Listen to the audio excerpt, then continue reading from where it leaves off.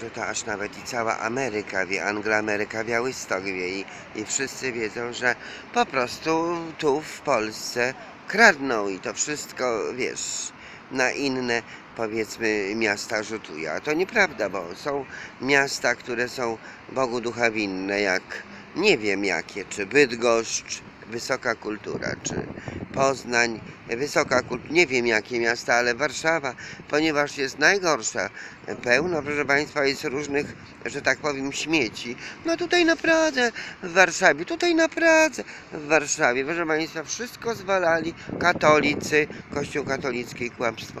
E, Wszystko zwracali uwagę, czy to zwracało uwagę, winę e, zwalali na cyganów, na cyganów. Zwalali winę na cyganów. A cyganie nie kradną.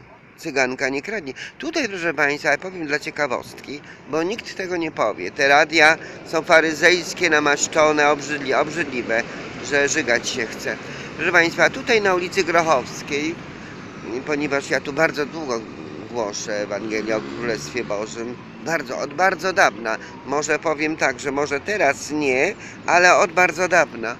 Tutaj chodziła cyganka, proszę Państwa, siostra świadków Jehowy, oficjalnie po chrzcie, przygotowana po kursach komputerowych i kształcona permanentnie cyganka z Ewangelią, z bratem, z siostrą, przecież sama nie, sama nie, ale świadkowie Jehowy to jest wielka rzesza ze wszystkich narodów, plemion, ludów i języków. I tutaj ten przykład dopiero pokazuje, jak jest naprawdę. A katolicy cóż?